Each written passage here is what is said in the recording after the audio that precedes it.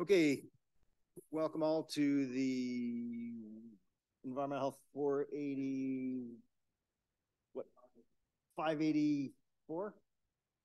Five eighty seminar, sorry. I'm Marty Cohen. I'm faculty in the Department of Environmental Occupational Health and Sci- Health Sciences.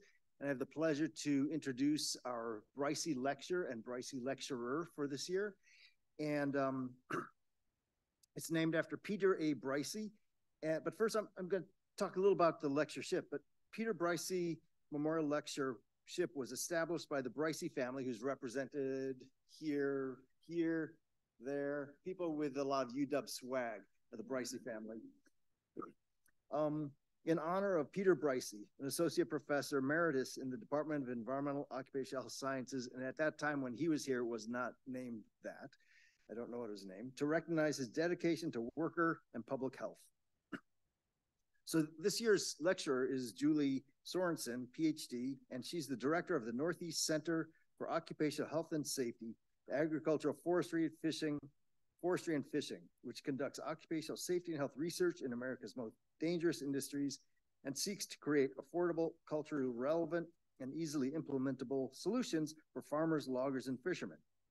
Dr. Sorensen has led the development of a National Rollover Protection Structures Program, NRRP, which links farmers to ROPS suppliers and provides cost sharing for the installation of these important safety devices. She has also developed interventions for commercial fishermen, including life jacket, life jackets for lobstermen program, which is highlighted by Forbes magazine as a fitting strategy for saving lobstermen's lives.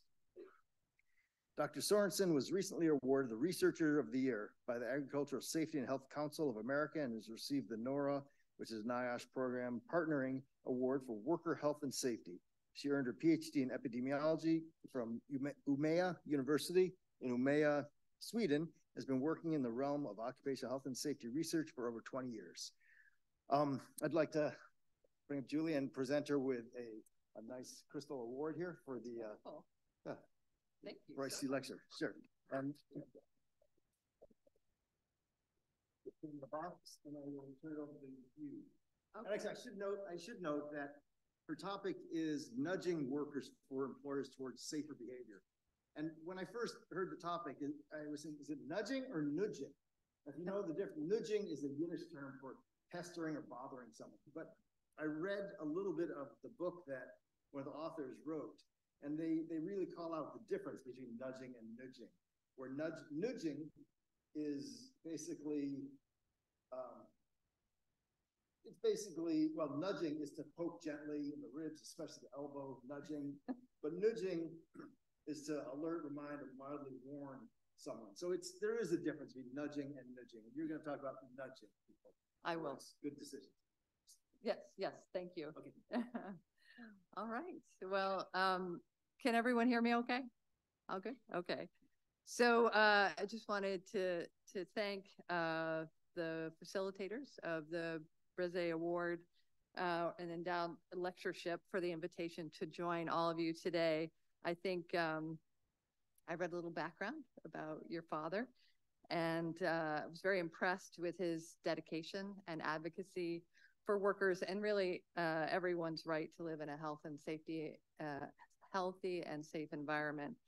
And uh, I really have to admire the perseverance and outspoken, uh, you know, th- these qualities that he brought to his uh, life's passion. Um, because I think, you know, these are the essential qualities for successful change agents. And uh, so nice that your father embodied those values and were was able to utilize that in ways that really moved the needle and made a difference in people's lives. And so what I'm hoping is to, uh, in following his passion and his, his ability, maybe ins- to inspire uh, everyone here today to think about uh, ways that we can move the needle and make a difference in people's lives, maybe by thinking a little differently about the prospect of human behavior change. So um, I think we'll go ahead and get started. Um, let's see. Is that good? Let's see. Is it the?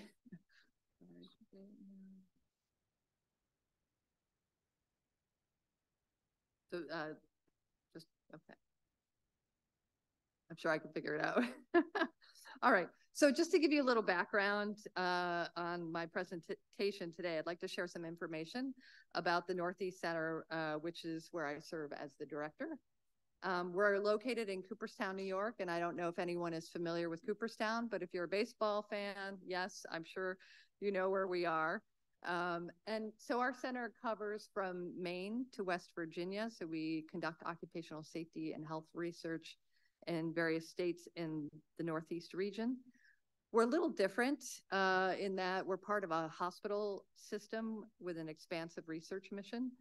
And we have a staff of about 37 researchers, safety specialists, occupational clinicians, biostatisticians, social workers, and administrators. And um, what we really are focused on is conducting surveillance, um, etiological research. We develop interventions and also provide training to workers on health and safety. And we also provide occupational health care. Um, and like our sister center, PNASH, we work with all three industries, agriculture, forestry, and fishing. And I'll talk a little bit uh, more about those industries in the upcoming slides.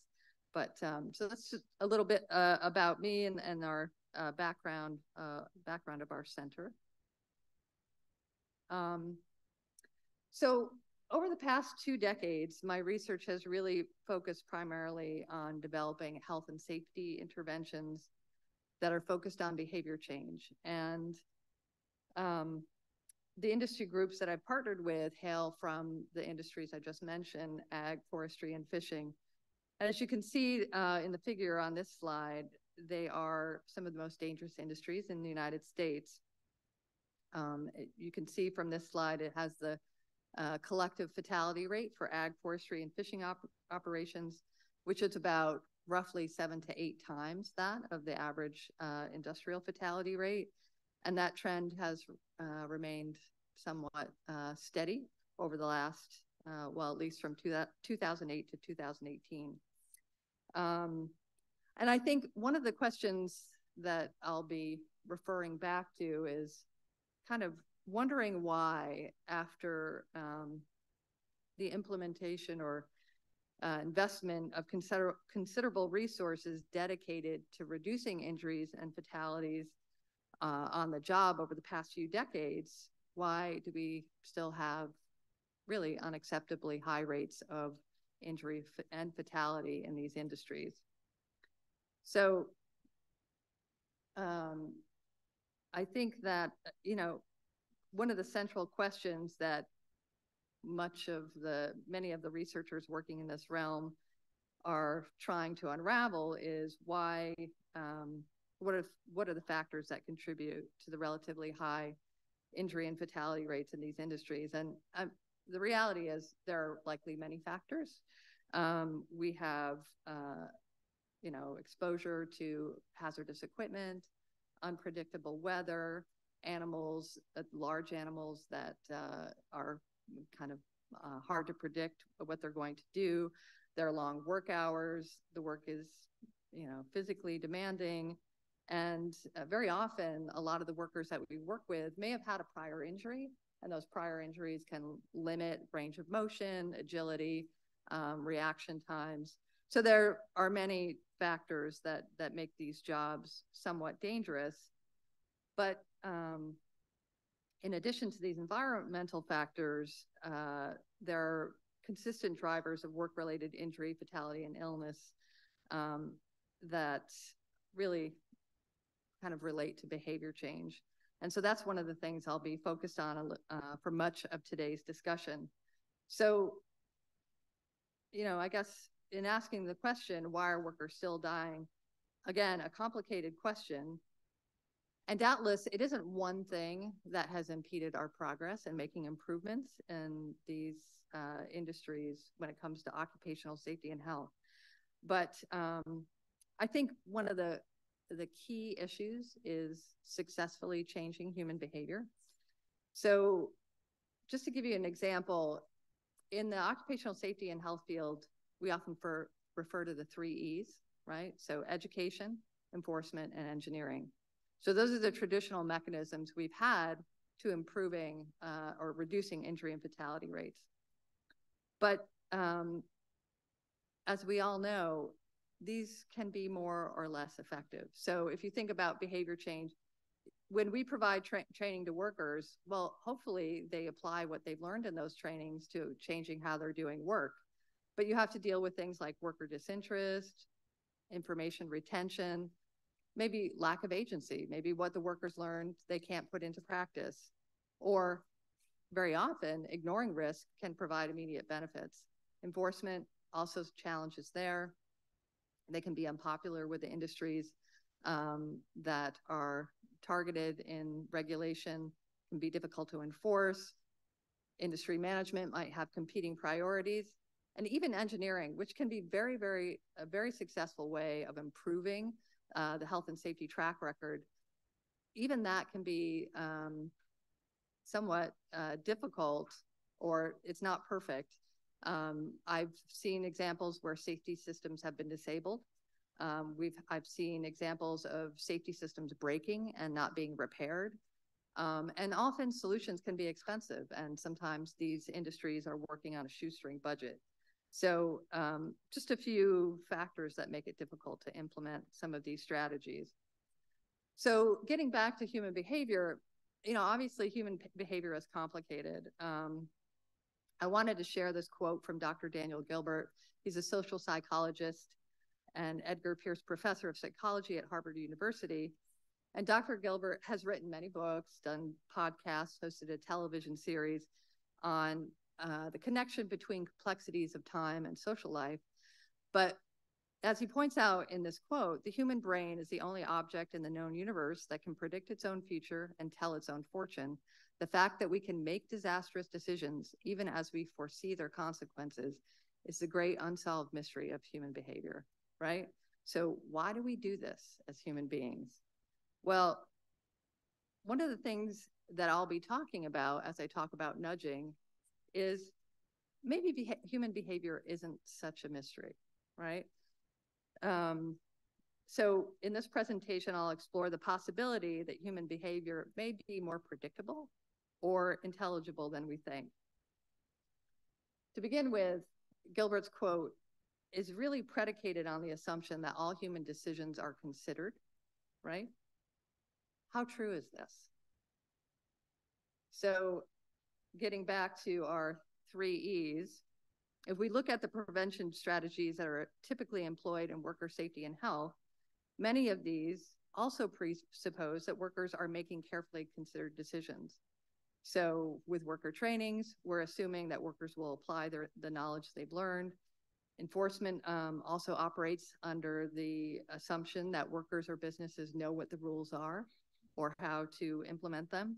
And engineering solutions often require some knowledge of how to be uh, aware of and use the equipment appropriately. So all of these require people to be making thoughtful decisions. So I think, you know, it can be very valuable just to kind of take a step back and look at our assumptions. So if we look at how human beings process information and make decisions, it may explain some of the mysteries of why why we haven't made more progress in occupational safety and health. Um, I don't know if people are familiar with dual process theory, but it is a um, psychological explanation for how human beings think, reason, and make decisions. And this theory splits human cognitive processing into two distinct systems. So we have either Sometimes they're referred to as the implicit or explicit systems. Um, they're often referred to as System 1 and System 2. Those are terms coined by Keith Stanovich and Richard West. But generally, uh, what we're looking at is in System 1, which is a system where we utilize that we utilize to make decisions, uh, and, which is very intuitive and instinctive. So we're not spending a lot of time thinking about the decision, the pros and cons, et cetera. The decisions are sometimes unconscious, they're very fast, they're associative. Uh, it's kind of decisions we make on automatic pilot. And system two is really focused on uh, engaging in rational thinking. So we're looking at pros, cons, takes a lot of energy.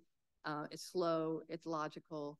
Um, and what I think is interesting is when you look at dual process theory, you kind of, it makes sense, right? About 95% of the decisions we make are made using system one thinking.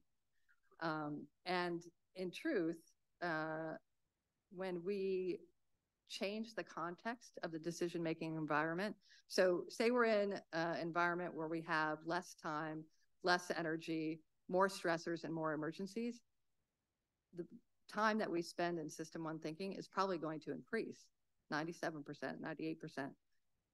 In uh, context where um, we're engaging in new behaviors or new decisions or the stakes are higher or the decisions are more complex, we may spend more time in system two. But generally, this is kind of the way we're processing decisions.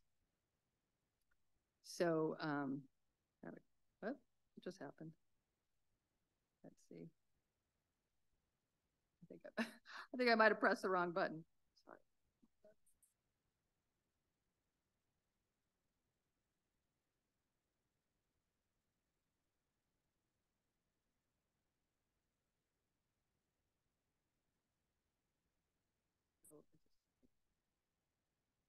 Well, those were, yeah, perfect, thank you. Um, so uh, a few examples of system one thinking, simple things like driving to work, simple math, finishing a popular phrase, turning on your computer. Those are things we can do and we don't even have to think about it, right? We just do it. Um, it takes not much energy and it doesn't take much focus. Um, system two thinking, uh, things like choosing an insurance policy, uh, you know, figuring out complex math problems, learning to play the piano, taking a new route to work. Those are things that all require careful thought, energy, and reflection. So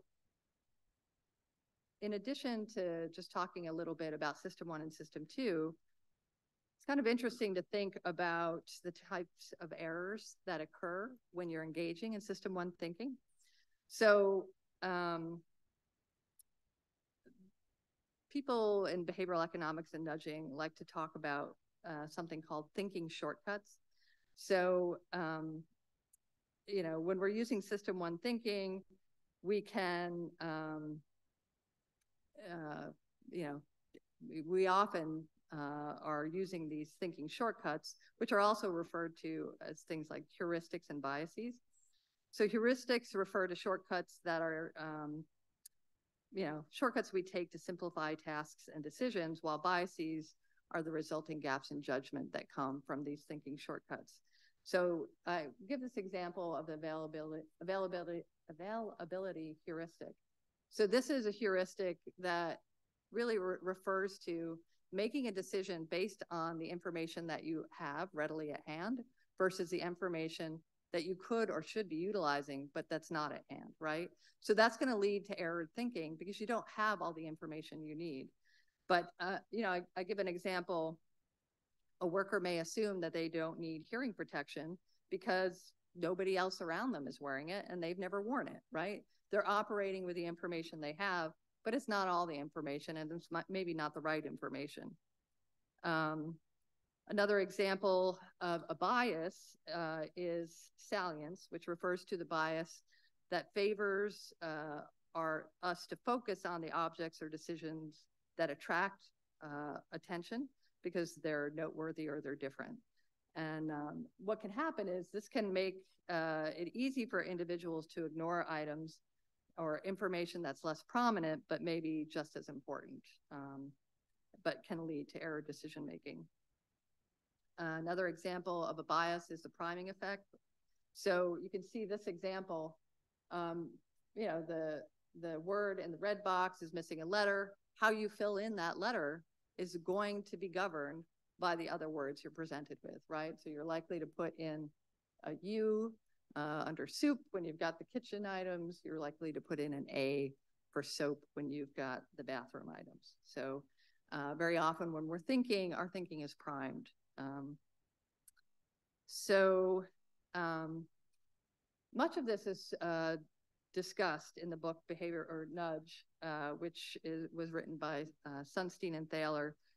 And I think you know, obviously this field has important implications for public health, behavior change research, because, and I think when I read this book, the thing I really liked about it is uh, nudging um, strategies don't assume that people are thinking about the decisions they're making. In fact, they're counting on the fact that people aren't thinking about their decisions and they're thinking, okay, how can I rearrange the choice environment to kind of help, you know, I know what kinds of thinking shortcuts people take.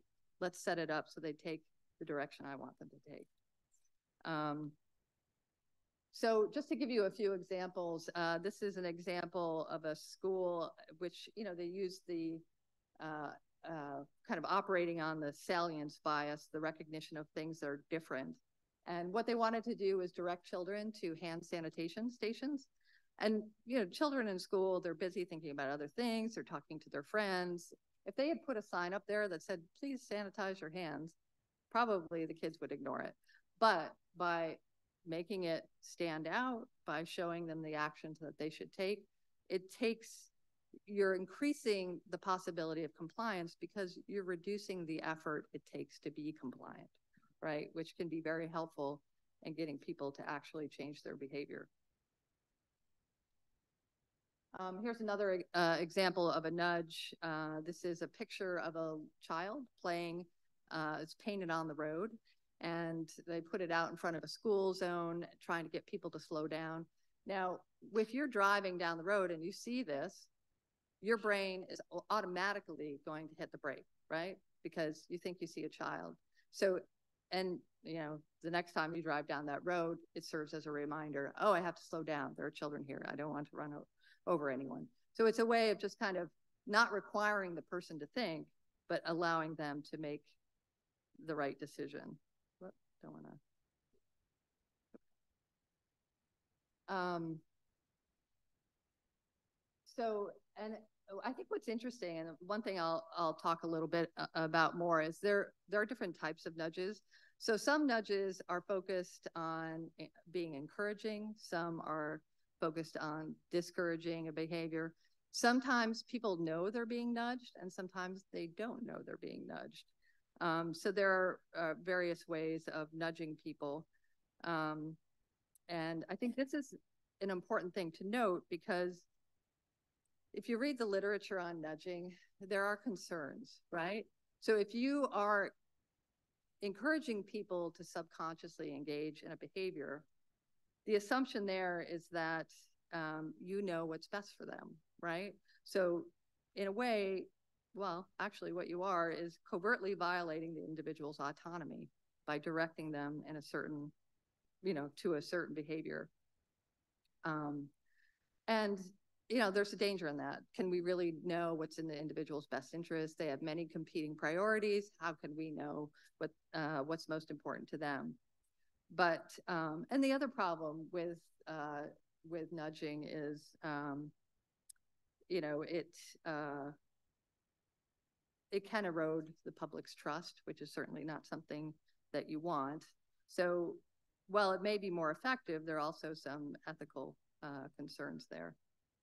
Um, so, but we do need viable solutions for behavior change, and uh, you know, it's quite possible this is an effective strategy. So, how do we get around these ethical concerns?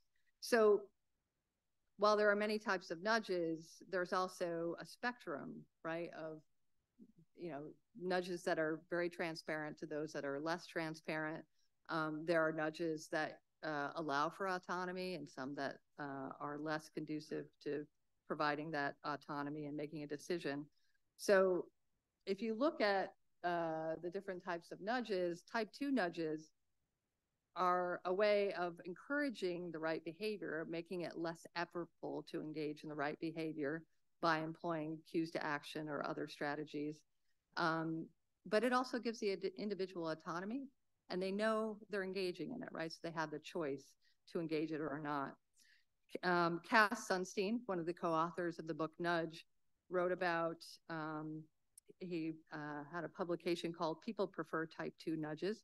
He'd done a national survey to see, you know, if people have a preference. And interestingly, when it comes to especially things like law and policy, a majority of people did prefer uh, system two nudges or type two nudges. So uh, obviously the public wants a say in what they're doing. Um, so this brings me to what I'd like to share with you today. So I've I've done a lot of interventions in behavior change. Um, worked in social marketing, you know, kind of employed a number of strategies. And I think the thing that that I that I think nudging provides for us is a way to address this issue with people not thinking about what they're doing. So I wanted to explore the possibility, could you work with target populations to create nudges?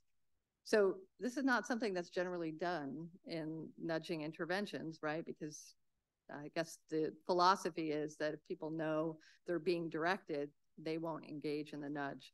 But I really wanted to test that out. So I've been working with a research team that piloted a, novel approach to nudging, which really involves uh, co-creating the nudges with the nudging targets.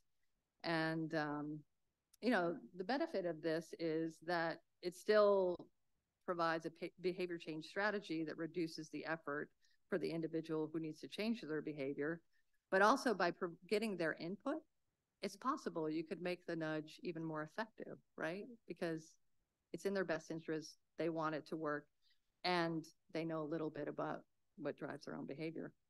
Um, it's when I started the project, I did a, a, literature review and I could not find any evidence of someone having trialed this. So, um, so it was kind of exciting to think about.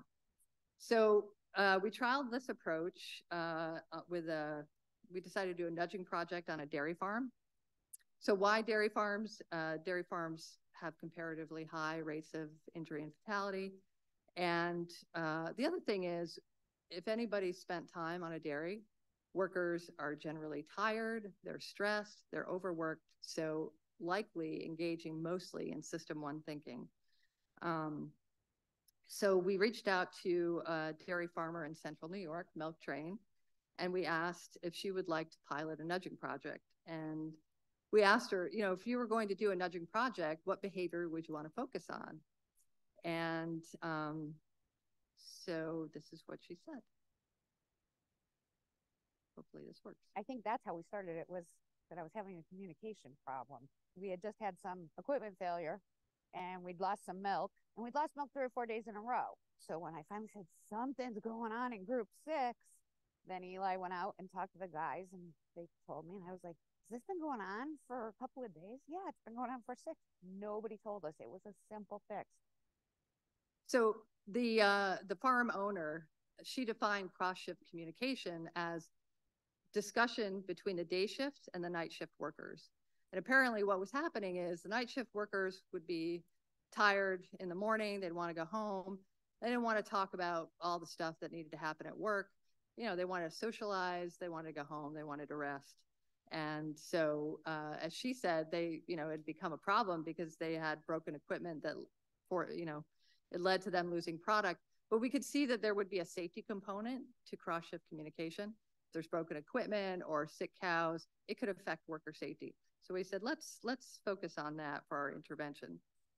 So uh, the research team uh, was myself, uh, colleague Helle Burke Domino, who works for SEGES, which is a Danish agricultural consultancy uh, organization in Denmark, John McNamara, who uh, is a agricultural health and safety specialist in Ireland, working for Teagasc, which is about, it's like the equivalent of extension and then Stephan Van den Broucke, who's a psychologist uh, and health literacy expert, who uh, who is professor at the University of Catholique de Louvain, uh, our NEC staff, and the Milk Train uh, folks.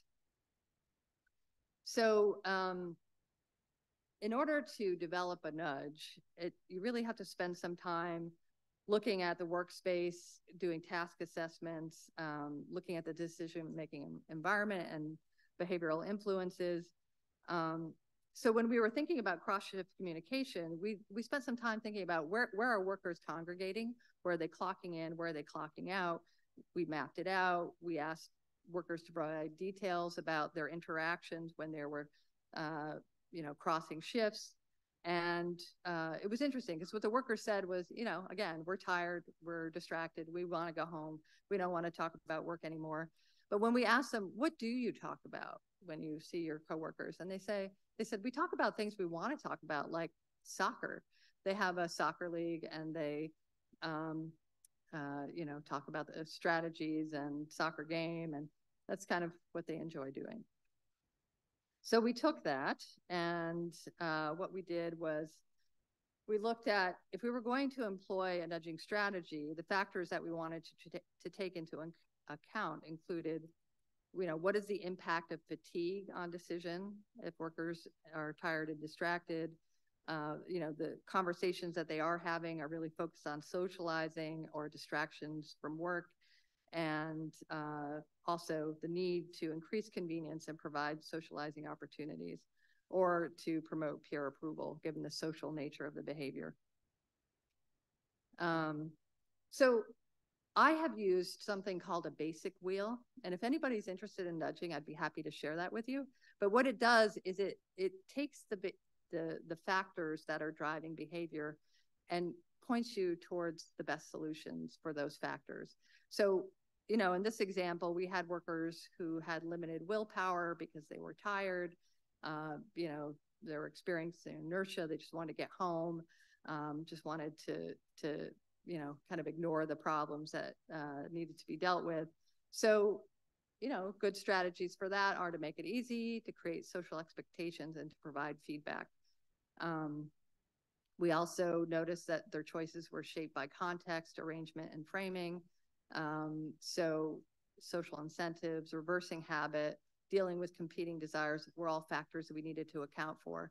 So the intervention needed to make it social, make it attractive, and provide cues to action for the workers.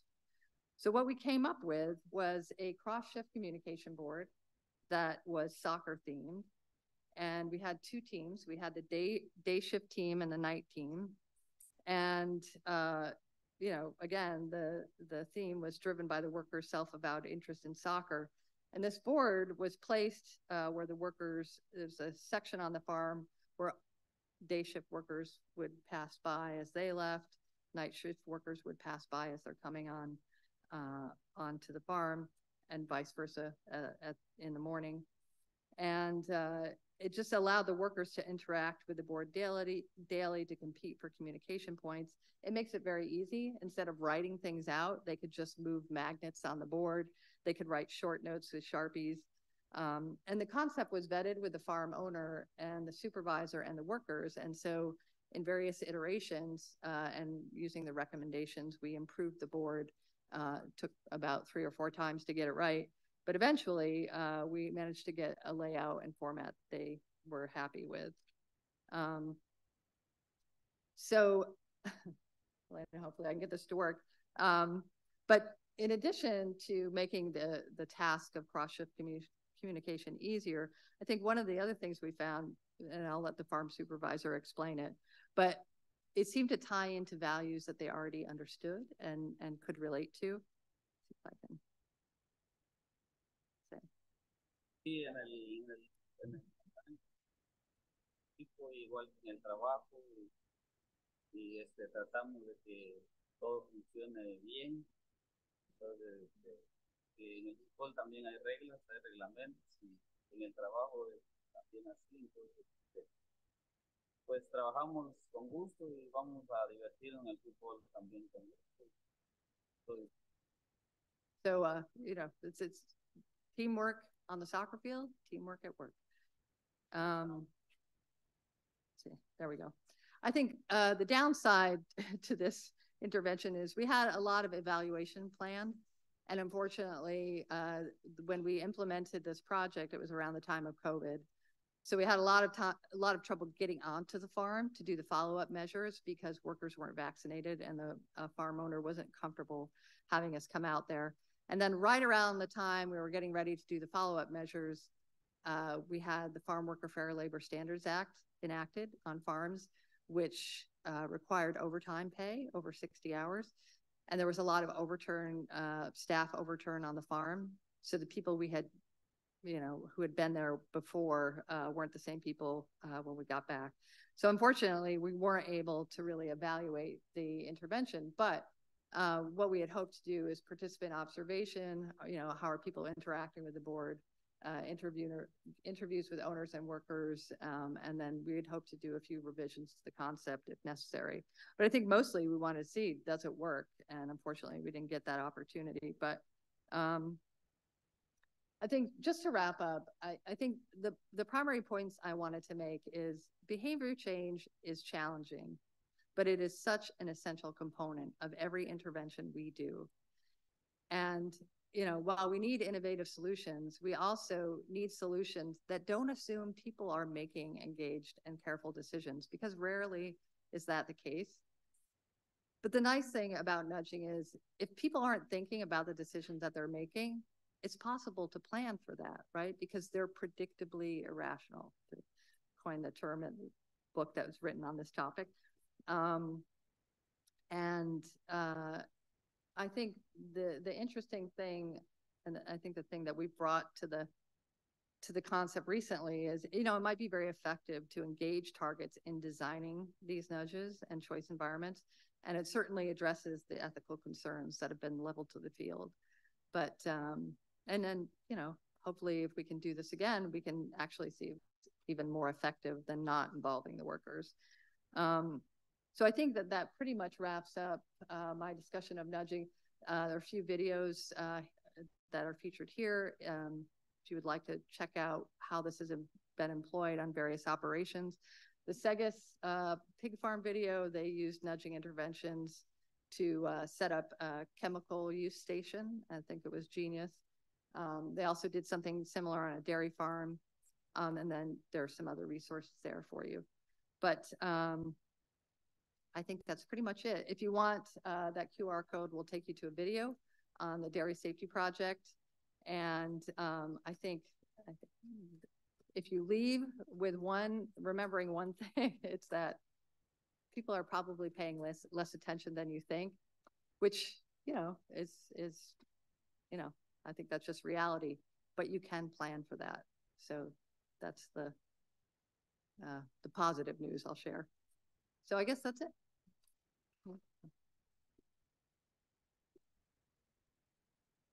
Thank, you so much for a fantastic lecture. Uh, we have about 30 people online on the Zoom, so I want to welcome them um, and invite them to add questions to the Q&A. And then we also have about 30 people in the room. So if you do have a question, please raise your hand for Dr. Sorensen and I'll bring the microphone to you um, so you can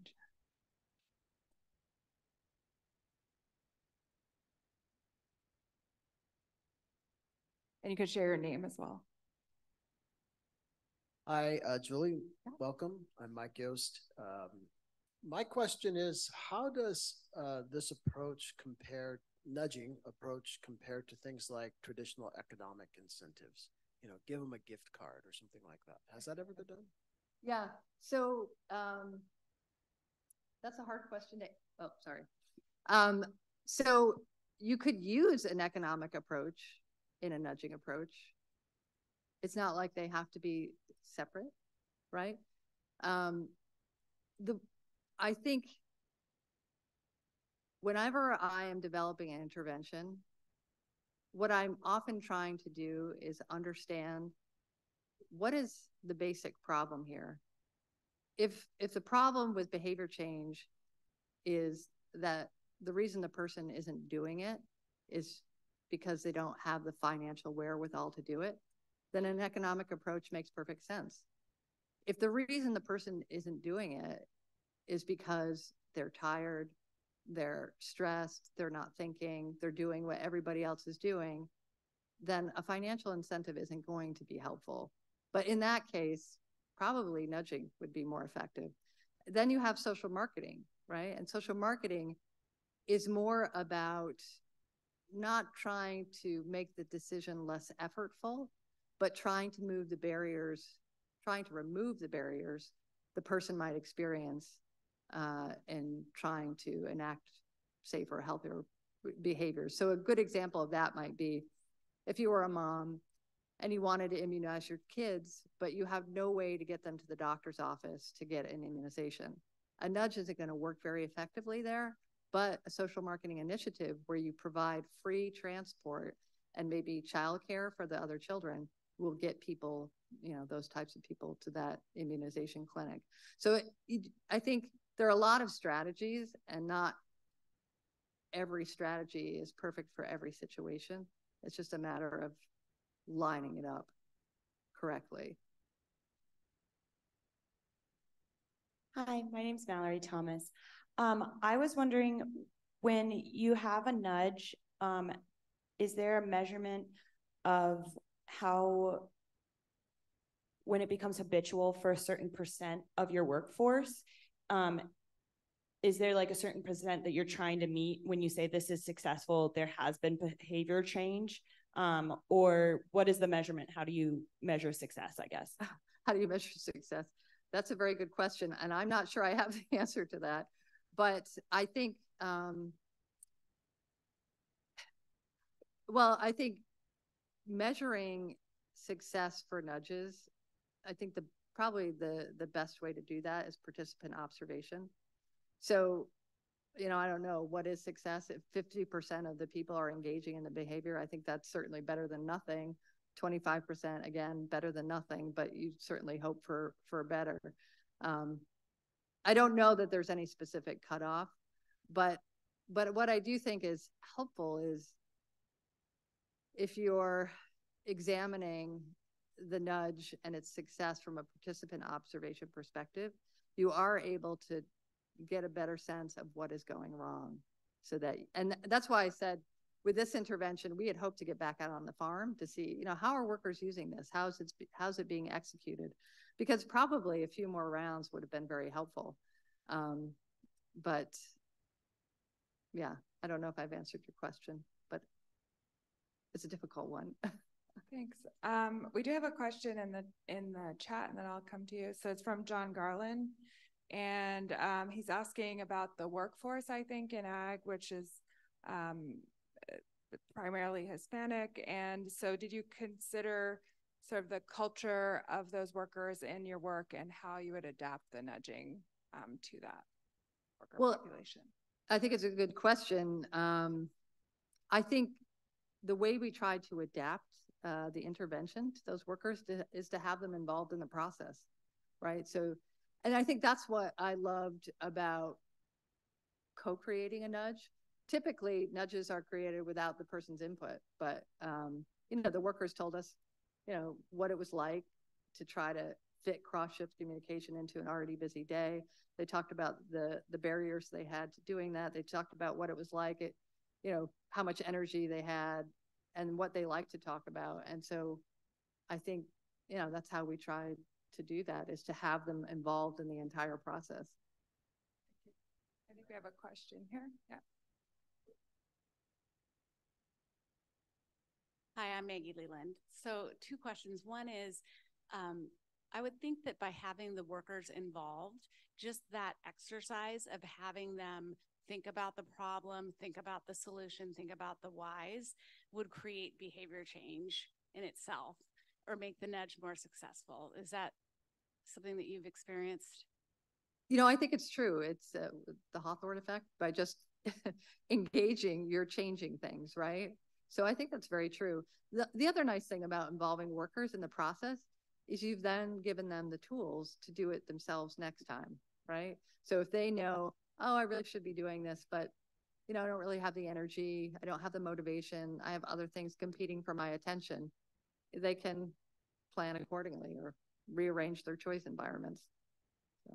And I would also think that some of the nudges need to be revisited because it seems like it would become something you could easily tune out as over time again because it's not something novel. It's not something working that it can become easy to turn out tune out. So how do you how do you go about um, refreshing those or revisiting the need for new nudges? Yeah. Well and i think again you know it kind of depends on the context. Ideally you know what you're what you're fighting in behavior change is habit right? Uh, there's inertia if you can get workers to be using it regularly for a few weeks, for a few months, it becomes habit. And hopefully they just keep doing that because it's now the new normal, right? It's now what they do. That's not always going to happen. And I think, uh, you know, that's why ongoing evaluation, six months, a year, year and a half to see long-term, you know, what are the effects of these nudges? I think that would be very helpful information. Other questions in the room? Oh, sure. Hi, my name's Katie. I'm wondering, in addition to the nudge, what was the um, management approach as far as, you know, consequences for noncompliance? And was there any changes on behalf of how the management interacted with the workers once this intervention was put in place, you know, to allow the, the nudge to do its job as opposed to sort of um, draconian management techniques, for example? Right. Yeah. Well, so management buy-in was, it was crucial, right? And uh, so what Colleen was saying is initially, you know, when workers weren't engaging in cross-shift communication, she would just get upset, you know, and then they know the boss is mad and, but wasn't really changing anything. Um, by using this approach, she had to be invested, right? Because the workers were competing for points and the winning team would get incentives like a pizza party or gift certificates or things like that. So she had to be willing to invest in that and she had to be willing to re reinforce and, you know, ensure that, you know, the points as they were being tallied were valid. So she had to be a little bit more involved. But I think in the end, you know, she's getting the behavior that she wants. And, and instead of using a negative approach, okay, I'm going to be angry if you don't do this. It's more of a incentive positive approach. But, uh, you know, again, we weren't able to go back and evaluate. Uh, um, I mean, maybe you don't have the information, but did she change her, say, employee discipline policy in any way because of this intervention? No, I think she was hoping to avoid having to do that. I think, you know, sometimes the carrot is better than the stick. And I think she the other thing too is dairy farms are so desperate for workers. They are really reticent to be um, to come down harshly or to focus more on discipline. So this was a way of ensuring that the workers were happy, but she was getting what she needed. Yeah, I thought it was really interesting. In um, previous career before becoming a student here, I managed nurses and CNAs in a post-acute care setting, and they have some very similar challenges um, night shift wants to go home, day shift shows up, there's a bunch of call lights, nobody wants to read the chart, nobody wants to, you know, pass on information. It's also a an industry that's very um, difficult to staff. And so workers are at a premium and you don't want to be too, um, yeah, you don't want to lose workers that you don't need to lose. Exactly the same. I think it might be a little more challenging there because like what, what you couldn't see on the board is they didn't really have to write a whole lot. All they had to do was move things around on the board to communicate. I'm not sure you could do that in that setting, but there probably are things that you could do just by, I mean, it, it's hard for people to change their habits and you have to find a way to, to reduce the effort if you want people to buy in. And with a little thinking and planning, it's often easier to do that. It'd be an interesting problem in that setting to try to figure out if you could use nudging. Thanks, Julie. Yep. Uh, well, I wasn't gonna, not, we could clap next. I have a question. Okay. Okay, okay, well, so why don't we thank Julie and she'll be, we'll have a reception upstairs uh, shortly after and we can ask questions there as well and meet the family as well. So thank you. for coming out. thank you.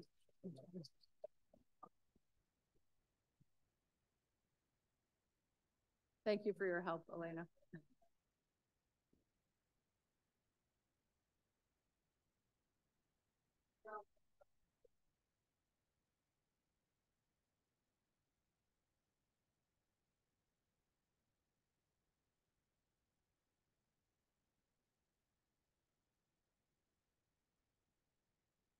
And thanks online for the questions. We'll be sharing them. Um, there were a couple that came in at Oh. the very end, so we'll share them with Dr. Um. Should I just speak into my? well, I think we have to leave the room. Oh, okay. Another class coming in. Yeah, if you want, uh, do you want to email them? Yeah, I'm, I'm happy. Thank you. Them too, and I have these people's contacts, yeah. Yeah.